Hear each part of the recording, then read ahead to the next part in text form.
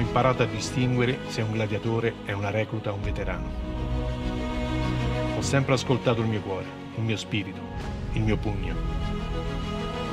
Venivo allenato ogni giorno e man mano mi sentivo onnipotente, imbattibile.